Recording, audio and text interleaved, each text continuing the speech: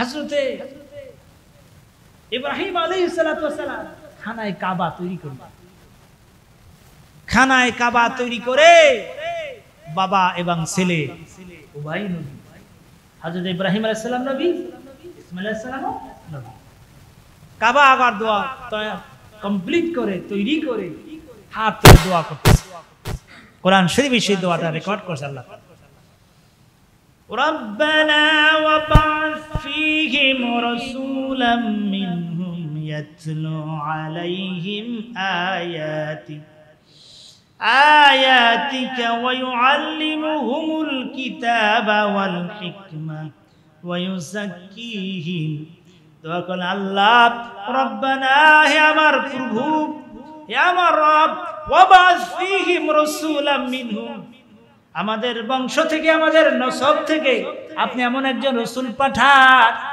ইয়াতলু আলাইহিম, যিনি কোরআন শরীফ তেলাওয়াত করে আপনার বাণী তেলাওয়াত করে শোনাবেন। ওই আল্লিমহুমুল কিতাবা, কিতাব শিক্ষা দিবেন, ওয়াল হিকমাতা, হিকমত শিক্ষা দিবেন। ওই জাক্কিহিম মানুষকে তাজকিয়ায় নফস করবেন, আত্মশুদ্ধি করবেন। আজাদ, হজরত রসুল পাক আলাইহি সাল্লাম মাঝে মাঝে বলতেন, আনা দোয়াও আবি ইব্রাহিম, আমার বাবা দোয়া করছে, সেই দোয়ার ফসল হইলাম আমি। জোরে বলেন, সুবহানাল্লাহ। এই বাবা আবদুল্লাহ না, এই বাবা হযরত ইব্রাহিম আলাইহিস সালাম। তিনি হচ্ছেন মুসলমানদের জাতির পিতা মিল্লাত আবিকুম ইব্রাহিম হুয়া সাম্মাকুমুল মুসলিমিন। মুসলমানদের মিল্লাত, মুসলমানদের জাতি পিতা হলো হযরত ইব্রাহিম আলাইহিস সালাম। আর রাসূল পাক সাল্লাল্লাহু আলাইহি বাবা দোয়া করছে।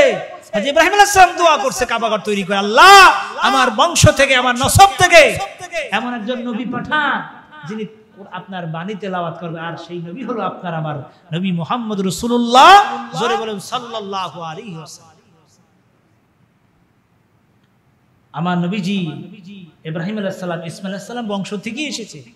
ইব্রাহিম আলাইহিস সালামের দুই সন্তান, ইসহাক আলাইহিস সালাম আর ইসমাইল আলাইহিস সালাম। আর আমার নবীজি এসেছেন ইসমাইল আলাইহিস সালামের বংশ থেকে। আর ইসহাক আলাইহিস সালাম থেকে ইয়াকুব ইয়াকুব থেকে ইউসুফ একাধিক নবী পয়গম্বর এসেছে, বনি আমার নবীজি বনি থেকে আসেন নাই। তিনি এসেছেন ইসমাইল আলাইহিস সালামের বংশ। এই ধারা থেকে।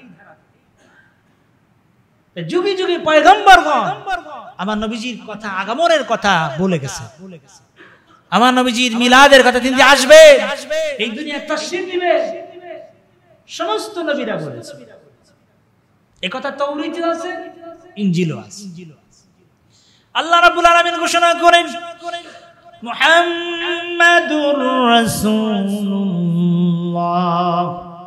والذين معه أشداء على الكفار رحماء بينهم تراهم ركعا سجدا يبتغون فضلا من الله من الله ورضوانا سيماهم في وجوههم من أثر السجود ذلك مثلهم في التوراة ومثلهم في الإنجيل বলেন না সুবহানাল্লাহ আমাদের নবীজির নাম কি হবে মুহাম্মাদুর রাসূলুল্লাহ এই কথা তাওরাতে ছিল ইনজিলেও ছিল